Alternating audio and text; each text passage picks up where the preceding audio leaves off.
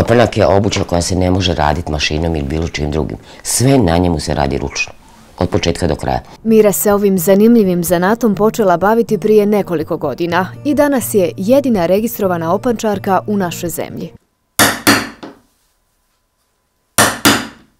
Ja sam opanke počela, naučila da radim pre nekih sedam godina. Ovaj, u sve ostalo što radim u životu, što sam radila, što se tiče ruku, ovaj, veliki sam kreativac i volim svašta da radim. I u jednom momentu došlo je tako da ovaj, naučim da radim opanke.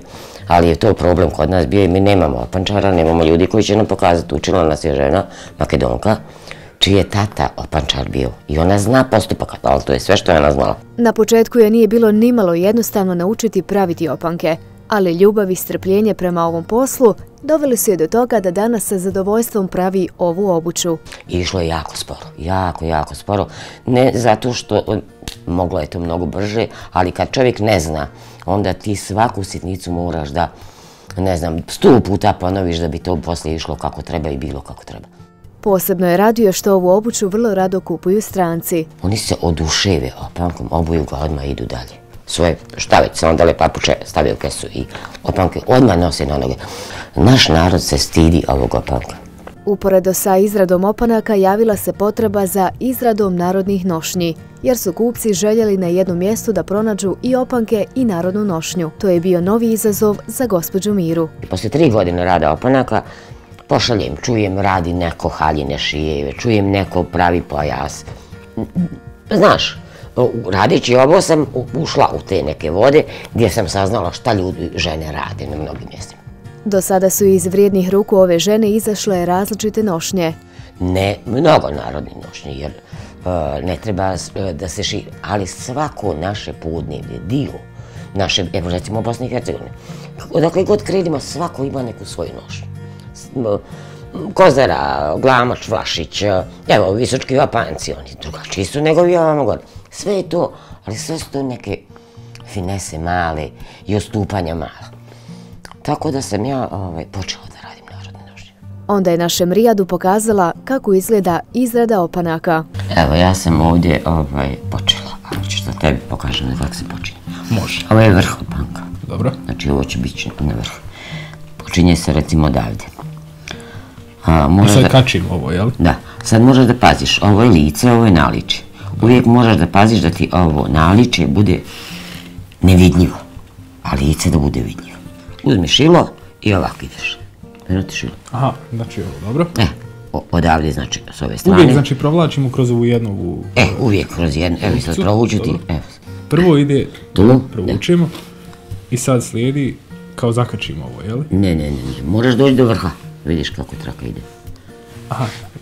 Evo, Dobro. vidiš, traka ide, ide, ide u vrh. A uvijek ovaj vrh ovdje uzimamo? Ti vrh moraš uzeti. I sad šta radimo? Kao kačimo nešto? Ka, zakočiš taj vrh tim Ovako? šilom, da. I provučimo, jel? Da, zakočiš ga tu znači, dole, da bi lakše ga provukao. A. I sad redom ideš tako. Pa dobro, sad ako do, da dobijemo ovaj špic, jel se treba ovo više stegnuti? Ovo na vrhu? Ili to samo dođe? Pa, Koji špic? Pa ovo ovdje gore na vrhu. Ne, to će to se samo oblikovati kad ga stavim tamo. Vidiš da opanak ima onaj vrh. Znači po kalupu to po kad radim. Aha, da, A ti sad vidiš redom, vidiš koliko rupa ima i koliko čvorova treba napraviti. Jel da? Ja ne želim da znam na što bi ovaj opanak izgledao kad bih ja... Pa dobro, ovaj... e, bi izgledao bi ono, ako bi ja stajala kraj tebe, bio bi on dobar opanak, sigurno. Pa ovaj, ja ti ne bi dozvolio. Tačno kao što ste rekli, Onaj, ovo jako izgleda jako, jako jednostavno, jako lako, ali zapitaš se zašto ne ide, zašto? Da, zašto to sad ne ide? Pa se vama nekad isplati ovo raditi? Recimo, je li više potrošite novca da biste kupili sve materijale nego što recimo zaradite prodavajući? Sad, sad, kad uh, imam sam alat, kad imam materijal, kad imam... Dobro, onda je lakše već, e, ali... Tačno, tačno. Ali kad sam počinjala, ja sam radila samo da mogu da kupujem neophodan i materijal, i kožu, i alat, i sve što mi treba.